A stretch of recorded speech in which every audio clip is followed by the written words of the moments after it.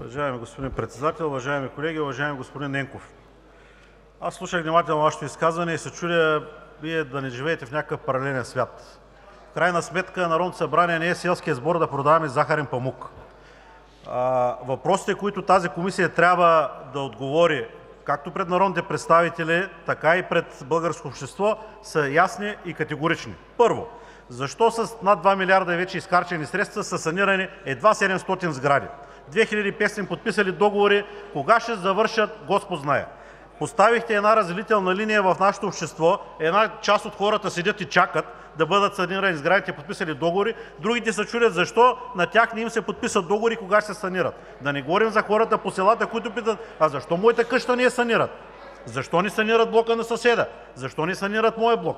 Създавахте разделителни линии и именно една такава комисия, господин Ненков, въпреки дадения от Вас розов цвят на Програмата за саниране, въпреки която ние не сме против, трябва да даде отговори дали ще продължи, с какви средства ще продължи, с какви средства са изхарчени, защото те са изхарчени след одит на Сметната палата в разрез със Закона за публичните финанси. Ето на тези въпроси искаме да получим отговор, а не да получаваме постоянно едни розови балони и да ни се обяснява колко е хубаво.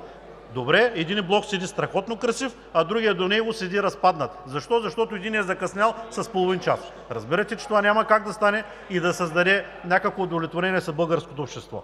Няма как да стане!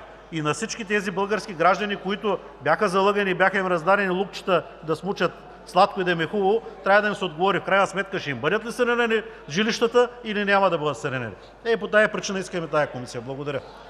Благодаря за репликата, господин Иванов. Други реплики има ли?